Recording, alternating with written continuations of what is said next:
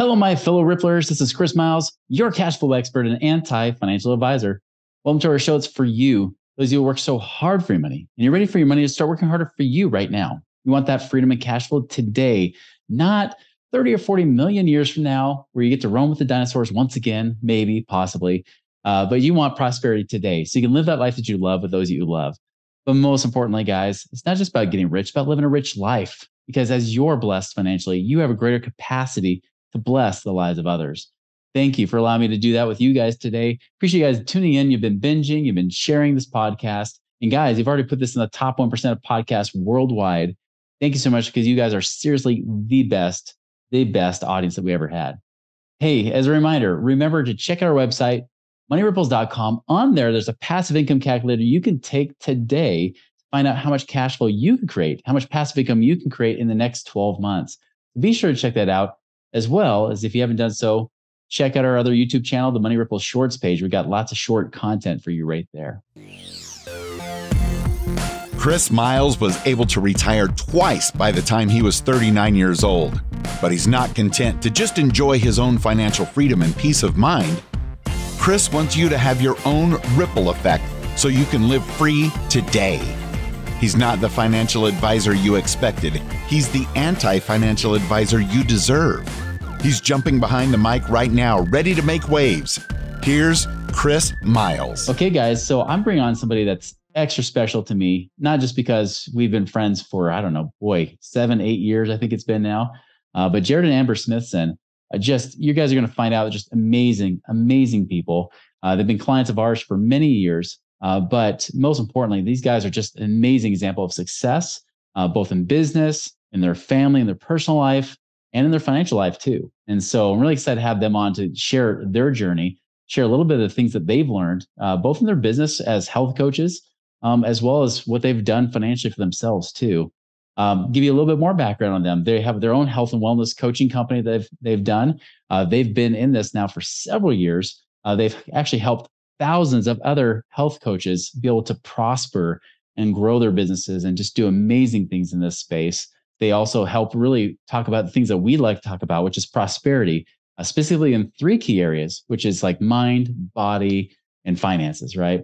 Uh, they also have three great kids. One actually going to Kansas here pretty soon and just found out. And and they also love playing pickleball their spare time, just like a mile, you know, half mile down the street from me. So, hey guys, welcome to our show. Thanks for having us, Chris. and I should have mentioned you guys are like like total like D1 like prof- almost like professional volleyball players too and have been for many years, huh? We'd like to think that and then we play against actual D1 players and and we take it in the face. So. Well, I don't know about that because Jared and our son Trent just took second in a double A tournament, which that's the top. That's the top. So he did wow. he on game point and, and took an actual ball to his face and was bleeding. So So when you were taking it, you take it to the face, you were being very literal about that, weren't oh, you? Oh, totally, completely. well, that's awesome. Congratulations. That's incredible. You know, I I remember I played volleyball in high school, like, you know, in PE class a few times, and that was pretty cool. You know, I can rock a badminton racket. Maybe that's yeah. about it. a lot slower pace when it starts going up and floating down, right? Yeah. Well, tell us like how'd you guys get on this journey, especially as entrepreneurs in the first place? Let's hear about that and how you guys became health coaches. Well, I mean, it started with we were actually struggling financially, Chris, and mm-hmm. it was about 14 years ago that uh, we hadn't made a house payment in over six months. We were just waiting for the bank to come knock on our door and say, "Get on out."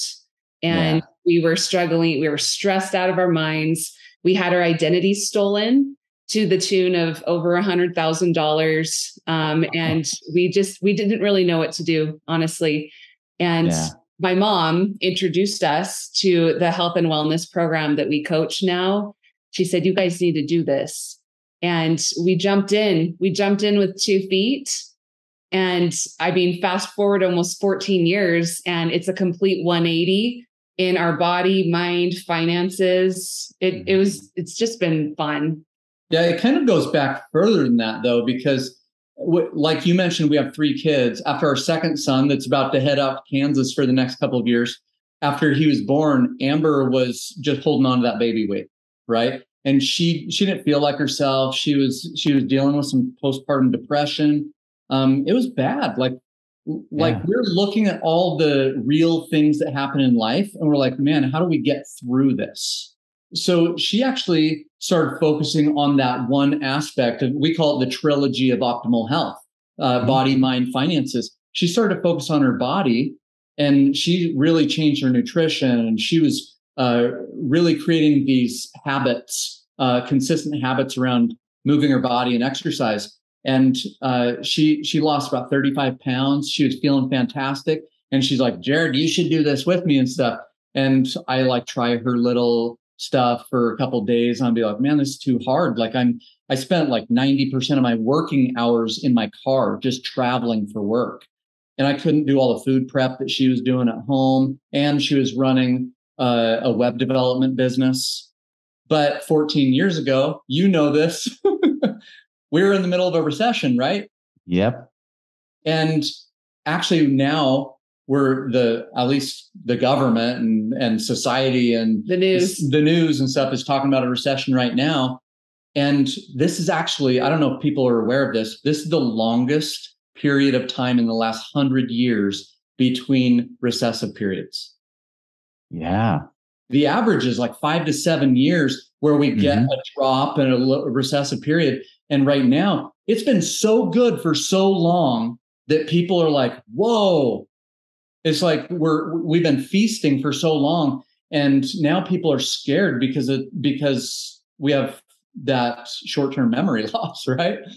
And yeah. it's the perfect time, in fact, for people, they start going, maybe I need to talk to someone like Chris maybe I need to have right. these principles. Maybe I need to make extra money or do better things with my money. Right. So we were really happy that we found you those many years ago, Chris. I know. Well, it's it's incredible because I mean, yeah, I mean, you guys had a huge turnaround story. I mean, it wasn't just financial; it was physical, it was emotional and mental. I mean, you guys did the full transformation. I mean, do you get do you get people sometimes coming to you thinking like oh if i just do this if i just exercise more my life's going to be perfect. Do you get people like that still to this day? Oh i was one of them uh-huh. I, I was a collegiate athlete. I knew exercise i knew getting in the gym um, but at the same time they were trying to put weight on me right? So right. I knew how to eat like an athlete, but then when I stepped away from the competitive athletics, I was still eating like an athlete, but I wasn't as active all day long. So I gained 50 pounds. I, yeah. I blame it on her because I'm like, I got pregnant three times with my wife. I just never had any babies, right? So I just kept well, that pregnancy weight you gained, right? exactly. Sympathy. Yeah. Right? And a lot of people they they just think I just need to exercise my weight off.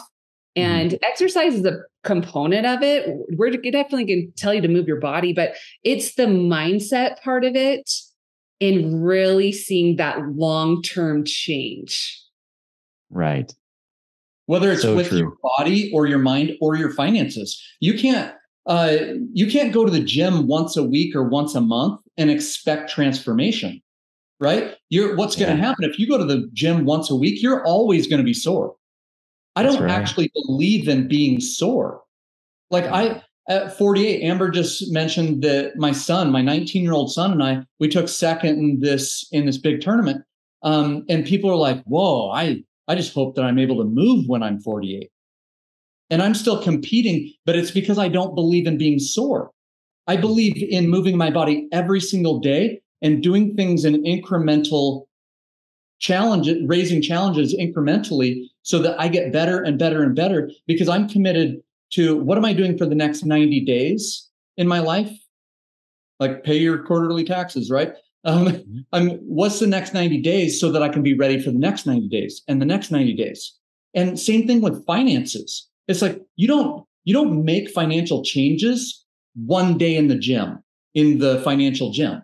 You have right. to do it. You have to make these commitments to your daily lifestyle to create any transformation in your life. So true. That's so true. You know, it's it's funny because you, you you bring up a good point about you know the pieces that people are missing, right? They think it's just easy to do this or do that, or maybe you're just blessed with beautiful genes. You know, you guys were athletes before, so you can become athletes again. It's so easy, but uh, something I've never shared with you guys before is uh, I don't know if you recall the first time we went out to dinner, we did like a double date, almost like a five. We almost had a fifth wheel too, right? And so we're out for pizza and everything. And and at that time, people may not know this, but on the podcast, you know, that have been watching this. But before I was over 30 pounds heavier. I was actually quite inflamed. My body was inflamed, not because I wasn't exercising. I was still exercising, running, doing all the things I do today. But um, my diet, my nutrition was out of whack. And I remember like uh, my bladder was filling up. I didn't want to. I didn't want to like be rude and leave. So of course my bladder's full. You can't suck it in very well. And I remember my my wife at that time, she made the comment, she's like, Chris, suck in your stomach. You look fat. And uh, she said that right to me, like right as we were about to say our goodbyes. I'm like, I gotta go to the bathroom. Once I do, like I'll be able to suck it in again, you know. And so maybe that's a little TMI for people, but it's true. Like I, I learned, I didn't know at the time as well as I do now, which is that nutrition is everything. That's the foundation. You know, the I as you share that, like I kind of get emotional about it because um, I was in the same place. Like I was when I graduated from high school. I'm six foot two. When I graduated from high school, I weighed 158 pounds, dripping wet, dripping wet, and a size 13 shoe, uh-huh. right? And and I was playing basketball for eight hours a day. Wow. I was practicing, but then I loved the sport dearly. And so after practice, I would go play pickup ball with my friends. And then late at night, I would break into our church and and I would shoot uh, 500 more free throws that night because I just loved the game, mm-hmm. right? But I was also size 13 shoe. Fast forward to 35 years old when I had gained 50 pounds and I lose that 50 pounds. I was eating like junk when I was 16, 17, 18 years old, but mm-hmm. I was young. I had good genetics. I was I was exercising for 8 hours a day and stuff, I was eating thousands and thousands and thousands of calories and tons and tons of sugar. 35 years old, I lose 50 pounds. I am a size 12 shoe. I lost a full size in shoe size because of inflammation in my body that I'd had since I was a teenager. And I would That's add, incredible. he stopped snoring. I stopped snoring. So I was really happy about that. but that's true. I forgot. I used to snore too. I forgot about that. I wasn't only fat, I didn't become fat physically. And just because I, I was eating too much or eating too much of the wrong stuff. My fat physical condition was because of fat emotional condition. I had right. I had been living and suppressing a lot of emotion and stuff like this. And anytime that we have those uh, skeletons in the closet or whatever, we want to call them the monster under the bed or or the suppressed child in the basement in down the cellar and stuff. When we start to be able to come face to face and invite those skeletons to our table and have conversations and learn the wisdom that those emotions have we get to move beyond it because down in the down uh, in the closet or in the basement and stuff those things are running our lives and when we invite them to the table and learn from them, now we get to gain the wisdom from them, but they're no longer running the show. I used to eat because I was lonely and scared and tired and depressed and stressed or whatever. And now I never, it's my goal to never emotionally eat. I might eat a dessert or something like that, but it's out of choice, not because I'm feeling something and I'm trying to get rid of that feeling you're burying the feelings, right? Eating the feelings up. Yeah. Yeah. Fascinating.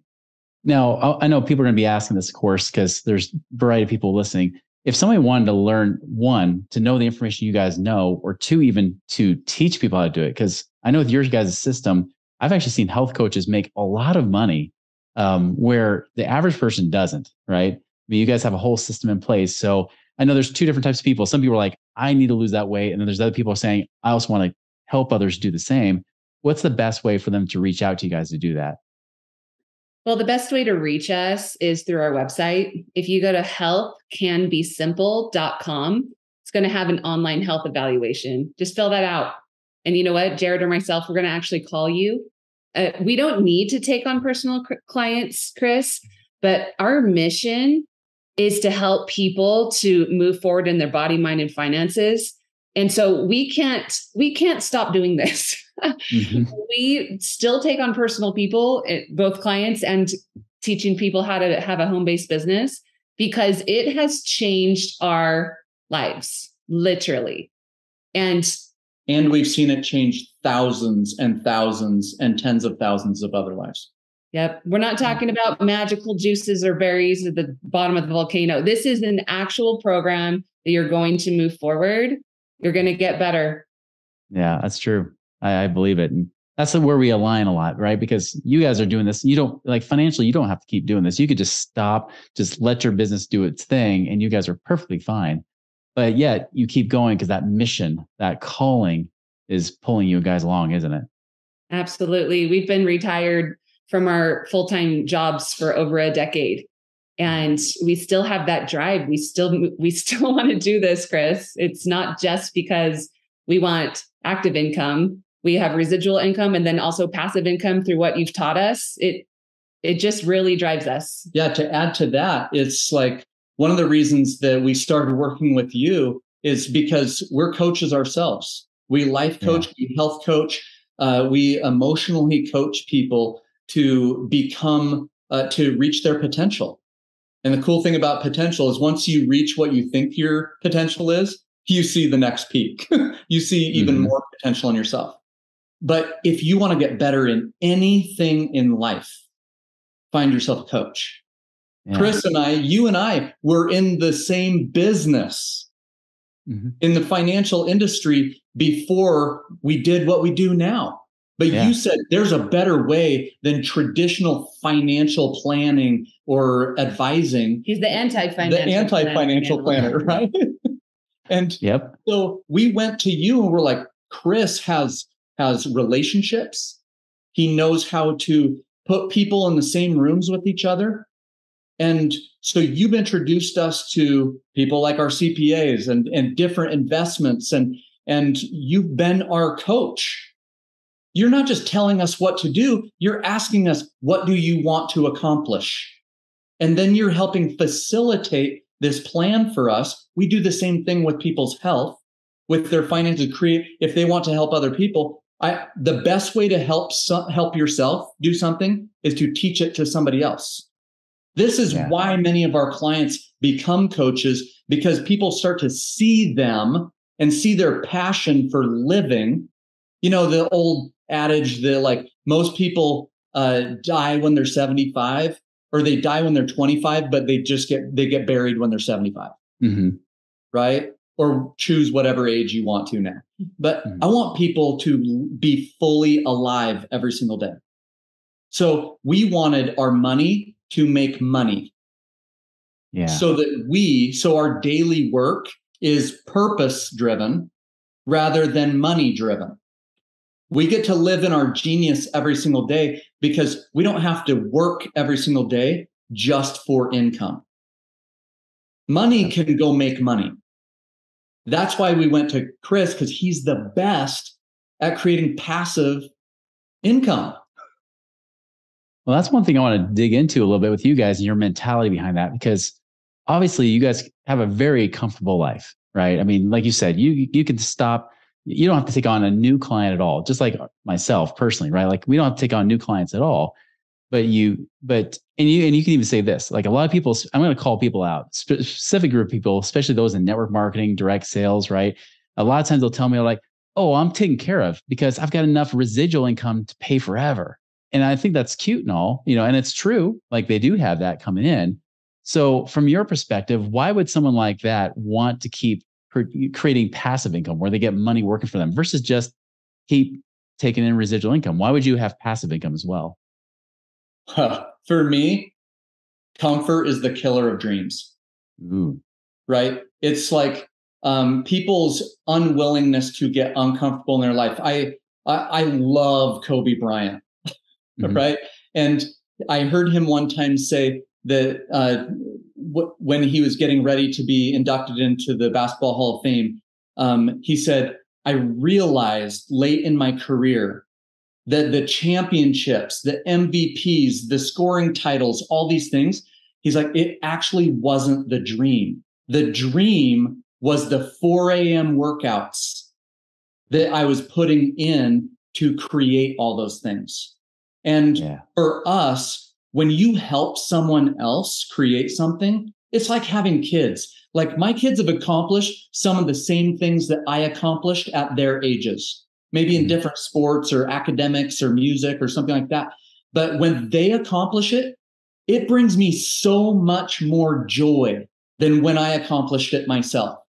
When you achieve something, you kind of cross that metaphorical finish line and you're like, where's the ticker tape parade? Right? Uh-huh.